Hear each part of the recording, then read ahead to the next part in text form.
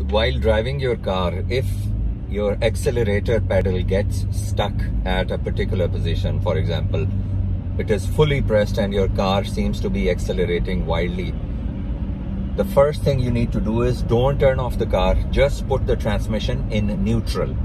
Whether it is an automatic or a manual, put the transmission in neutral. The engine will make a lot of noise, it will be very loud, but nothing will happen it will not be pushing the car anymore.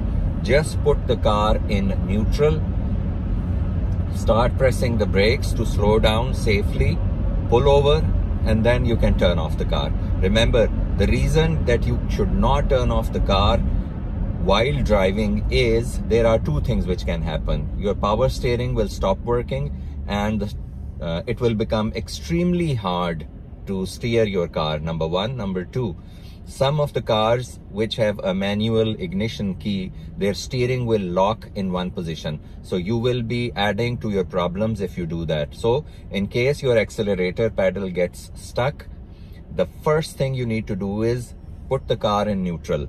Automatic transmission, manual transmission, whatever it is. The moment you put it in neutral, you regain complete control of your car. The car will start slowing down and you can safely pull it over.